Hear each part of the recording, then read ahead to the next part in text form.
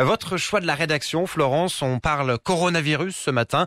Chaque jour sur cette antenne, bien nous donnons des bilans du Covid-19 hein, contre lequel le monde entier est mobilisé depuis plus d'un an maintenant. Euh, tous les soirs, les bilans sanitaires tombent. Il y a les chiffres des nouvelles contaminations, euh, ceux des décès et parfois nous faisons aussi un peu de place aux chiffres des guérisons, euh, des hommes et des femmes qui reviennent de loin, de très loin même parfois, Florence. Et derrière chaque guérison, Nathan, il y a souvent une bataille, un long chemin pour recouvrer la santé, la santé qu'on a perdue de façon tout à fait soudaine un jour, après un malaise, un gros mal de tête. Francesca était avec sa fille quand elle a commencé à se sentir mal.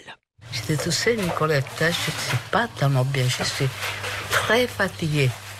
Au moment où j'étais très fatiguée, elle m'a dit, maman, viens avec moi. Tout de suite, on m'a amené ici. Et le reste, je ne sais plus. Je me suis réveillée avec ce tube dans la gorge que je ne pouvais même pas parler. Vous savez, je faisais Ah, ah. Et puis je demandais pour mes enfants et les, les infirmiers me disaient Madame, personne ne peut venir la prendre visite. Francesca va rester dix jours dans le coma. Elle est intubée. Au réveil, impossible de parler. C'était une douleur physique que je ne pouvais pas parler. Et, et ça, ça fait mal à l'intérieur de vous. Donc. Alors on m'a dit de chanter un peu là, là, là, pour habituer la voix à retourner un peu à peu.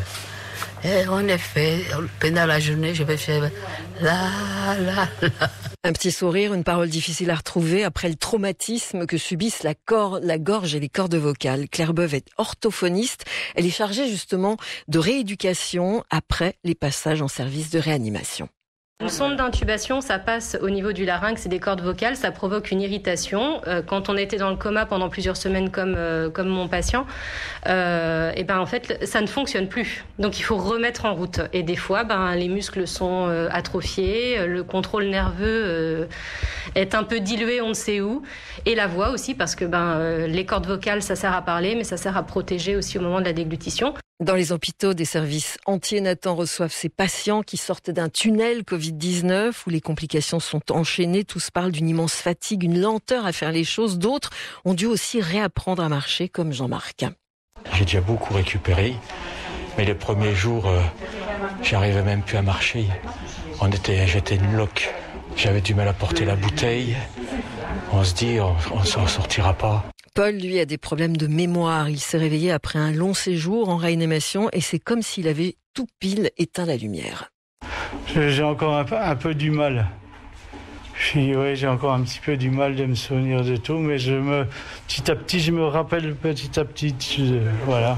Jean-Marc, Paul, réapprendre les gestes essentiels les plus simples, se mettre debout, parler, marcher. Aurore est kinésithérapeute et de facto en ce moment un spécialisé dans ces cas, ces cas lourds post-Covid-19.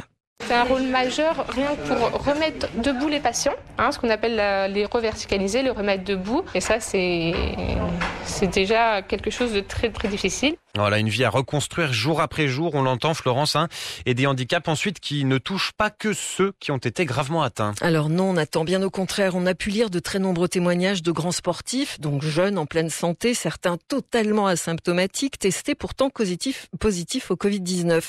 Ils sont guéris, mais ils ressentent toujours une immense fatigue. On a eu des témoignages dans ce genre, hein, le basketteur Rudy Gobert, le eh nageur euh, sud-africain Cameron Vanderberg, pour eux très difficile de se réentraîner correctement. Fatigue, perte de goût, des symptômes qui en fait durent très longtemps après la guérison. Maria, elle, a eu le coronavirus, elle a perdu une dizaine de kilos, elle est déclarée guérie et bien deux mois après, elle n'arrive pas à remonter la pente. Je suis très fatiguée. Bon, manger, je peux manger une fois dans les journées, pas plus. Et les goûts, c'est, ça pas revenu. Les yogourts, c'est le même goût que les laits. Et le lait, c'est le même goût, goût qu'un bistec de cheval. Le médecin m'a rassuré beaucoup. Mais j'ai l'impression que je n'arrive pas à la fin du tunnel. Voilà, ces symptômes qui durent dans le temps, essoufflement, fatigue, douleur dans les articulations, eh bien, on appelle cela les Covid longs des services de médecine sont maintenant mobilisés, par exemple, pour rééduquer les fonctions olfactives. Première leçon avec le docteur Jérôme Le Chien. 4 à 5 fois par jour, vous devez regarder des odeurs du quotidien. Ça peut être par exemple eh bien votre tasse de café, par exemple votre parfum, et vous devez, tout en regardant, sentir l'odeur. Même si vous ne le sentez pas, c'est très important de faire l'exercice et de faire l'entraînement. Cela va permettre à votre système olfactif de recapter les odeurs et une fois qu'elles sont recaptées, de les associer au niveau de votre cerveau à l'identité de l'odeur. Voilà Nathan, la réappropriation de l'odeur qui passe en fait par le regard pour une période post-Covid qui dure pour certains, on vient de l'entendre, très très longtemps. Merci Florence Blanc et c'est bien de le rappeler car si euh, de nombreuses euh, formes du Covid sont bénignes ou ne font pas souffrir les gens, il y a aussi ces formes graves.